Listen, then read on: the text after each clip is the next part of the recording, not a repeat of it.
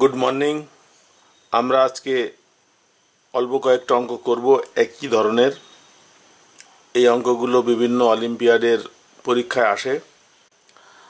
Specially যারা math olympiad পরীক্ষা দেয় এবং বিদ্যাসাগর সায়েন্স অলিম্পিয়াড পরীক্ষায়, এই সমস্ত প্রশ্নগুলো প্রত্যেকবারই প্রায় আসে। এবং এরপরে এই ভিডিওর শেষে আমি প্র্যাকটিস করার জন্য আরও কয়েকটি প্রশ্ন তুলে দেব। স্টুডেন্টরা স্ক্রিনশট করে এই প্রশ্নগুলো দেখতে পারবে। আর আরেকটি বিষয়, অনেকেই ভিডিও দেখছেন। ভিডিওতে যদি একটা লাইক করেন এবং চ্যানেলটাকে যদি সাবস্ক্রাইব করেন, তাহলে আমার খুব ভালো লাগে। অনেকেই কমেন্ট করছেন। আমি যথাসাধ্য সেই সমস্ত কমেন্টের উত্তর দেওয়ার চেষ্টা করছি। তাহলে অঙ্কে চলে যাই।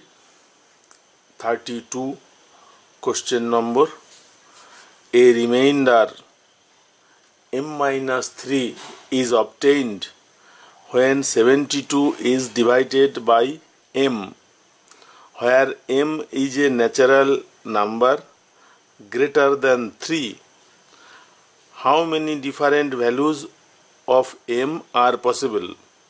বাহাত্তরকে যদি এম দিয়ে ভাগ করা হয়, তাহলে এম মাইনাস থ্রি এটা অবশিষ্ট থাকে।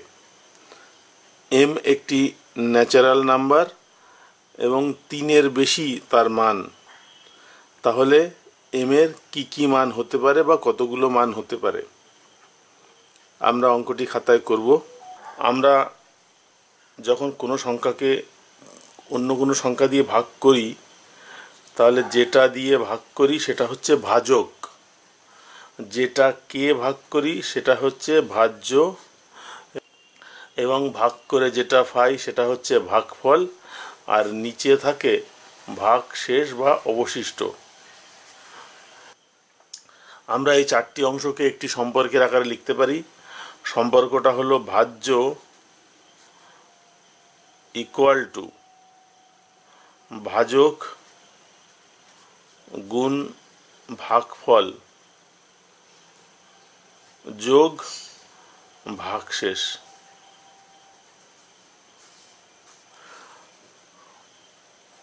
ভাজককে ভাগফল দিয়ে গুণ করে ভাগশেষটাকে যোগ করা হয়, তাহলে ভাজ্য পাওয়া যায়। এবার অঙ্কে ফিরে আসি। অঙ্কে বলেছে এম দিয়ে ভাগ করতে হবে সেভেন্টি টুকে এবং ভাগশেষ থাকবে এম মাইনাস থ্রি তাহলে ভাগফলটা কত? আমরা ধরে নিচ্ছি ভাগফলটা ওয়াই লেট ধরি। তাহলে আমরা এখান থেকে লিখতে পারি seventy two equal to M into Y plus M minus three এখান থেকে আমরা লিখতে পারি এম মাইনাস থ্রি এইটাকে যদি এই পাশে পাঠাই, তাহলে কি হয়?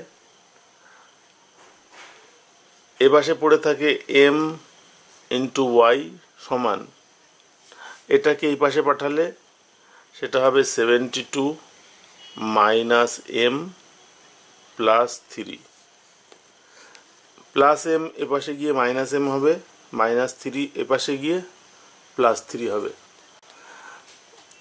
আমরা এবার লিখতে পারি অতএব Y equal to seventy two minus M plus three by M. একটুখানি যোগ বিয়োগ করা যায় এখানে। বা Y equal to seventy two plus three, তার মানে seventy five minus M by M.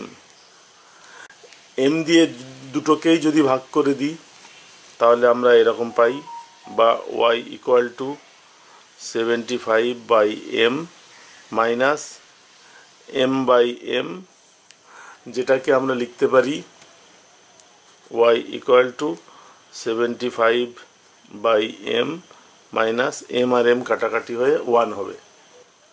তাহলে আমরা এখন এম এর মান বসিয়ে ওয়াই এর মান বার করব। এবার এম এর কী কী মান হতে পারে সেটা নির্ভর করে এই সংখ্যাটার উপরে। আমাদের এখানে সেভেন্টি ফাইভ এই সংখ্যাটার উপরে। এই সেভেন্টি ফাইভ সংখ্যাটার আমরা প্রথমে উৎপাদকগুলো বার করে নেব। সেভেন্টি ফাইভ এটাকে তিন দিয়ে কাটা যায়। তিন, পঁচিশ, পঁচাত্তর, পঁচিশকে পাঁচ দিয়ে কাটলে পাঁচ হয়। তাহলে সেভেন্টি ফাইভের উৎপাদকগুলো কি কি? সেভেন্টি ফাইভের উৎপাদক অনেকগুলো। প্রথম উৎপাদক ওয়ান তারপরে থ্রি তারপরে ফাইভ ফাইভ আর থ্রি গুণ করে ফিফটিন ফাইভ আর ফাইভ গুণ করে টোয়েন্টি ফাইভ এবং সেভেন্টি ফাইভ নিজেও। আমরা এতগুলো উৎপাদক আমরা বার করেছি। এই উৎপাদকগুলোই লাগবে। অঙ্কে আরেকটা সত্য বলেছিল যে এম একটি ন্যাচারাল নাম্বার এবং তার মান গ্রেটার দ্যান থ্রি এম এর মান গ্রেটার দ্যান থ্রি তার মানে এক নেব না, তিনও নেব না। বাকি যে সংখ্যাগুলো থাকল, পাঁচ, পনেরো, পঁচিশ, পঁচাত্তর, সেইগুলো আমরা মান বসিয়ে দেখব। কোথায় বসাবো? যে সমীকরণটা পেয়েছিলাম, আমি লিখে দিচ্ছি Y equal to seventy five by M minus one এই সমীকরণে এম এর মান কত হলে ওয়াই এর মান কত হয়, সেটা আমরা লিখব। আমরা এইভাবে লিখি এম ইকুয়াল টু কত আর ওয়াই ইকুয়াল টু কত। এম এর মান একটু আগেই বলা হয়েছে, তিনের বেশি, তাহলে উৎপাদক আর বাকি আছে পড়ে পাঁচ পাঁচ বসাবো।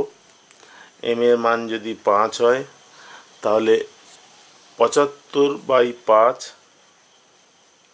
মাইনাস ওয়ান, তার মানে পঁচাত্তরকে পাঁচ দিয়ে ভাগ করলে হয় পনেরো পনেরো থেকে এক বাদ দিলে হয় চোদ্দ।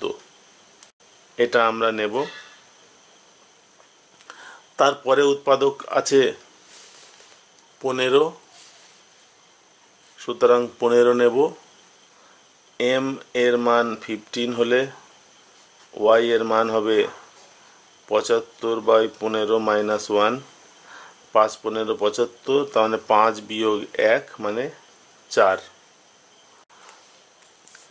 আর একটা উৎপাদক আছে এম ইকুয়াল টু যদি পঁচিশ ধরা হয়, তাহলে ওয়াই এর মান হবে পঁচাত্তর বাই পঁচিশ মাইনাস ওয়ান তিন পঁচিশ পঁচাত্তর, তিন বিয়োগ এক মানে দুই।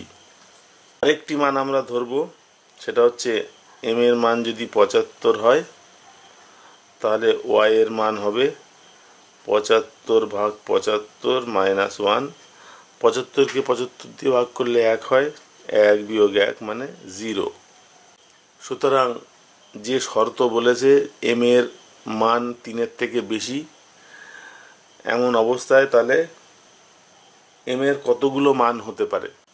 তাহলে এম এর মান হতে পারে চারটি। Two five M equal to fifteen M equal to twenty five M equal to seventy five এই অঙ্কের উত্তর হবে এ দাগ ফোর স্ক্রিনে আমরা যে অঙ্কটি দেখতে পাচ্ছি, আটচল্লিশ দাগে আছে। স্ক্রিনে আমরা যে অঙ্কটি দেখতে পাচ্ছি, আটচল্লিশ দাগে আছে। When thirty nine is divided by X the remainder is X minus three if X be a natural number what are all the possible values of X আগের অঙ্কটির মতো একই রকমের একটি অঙ্ক আমরা এটি খাতায় লিখব। উনচল্লিশকে ভাগ করা হচ্ছে এক্স দিয়ে এবং অবশিষ্ট আছে এক্স মাইনাস থ্রি ধরি কোশিয়েন্ট বা গুণফল হচ্ছে ওয়াই, লেট। তাহলে আমরা লিখতে পারি X into Y plus X minus three equal to thirty nine. এখান থেকে আমরা এক্স ওয়াইটাকে রেখে বাকিটাকে ওপাশে পাঠিয়ে দিতে পারি। তাহলে হবে thirty nine minus X plus three. তার মানে এটা হচ্ছে উনচল্লিশ আর তিন বিয়াল্লিশ মাইনাস এক্স। আমরা এবার লিখতে পারি, অতএব ওয়াই ইকুয়াল টু বিয়াল্লিশ মাইনাস এক্স বাই এক্স। দুটোকে যদি আলাদা করি, এক্স দিয়ে ভাগ করি, তাহলে বিয়াল্লিশ by X minus X by X. তার মানে হলো বিয়াল্লিশ বাই এক্স মাইনাস ওয়ান। এটা হচ্ছে ওয়াই এর সঙ্গে সমান। যেহেতু রিমাইন্ডার এক্স মাইনাস থ্রি, আমরা ধরে নেব X minus three greater than equal to zero, X greater than equal to তিন। সুতরাং সেখান থেকে মানটা নেব, আগের মানগুলো নেব না। এখন আমাদের কাজ হচ্ছে এই বিয়াল্লিশের উৎপাদকগুলো বার করা। ফর্টি টু দুই দিয়ে কাটলে একুশ,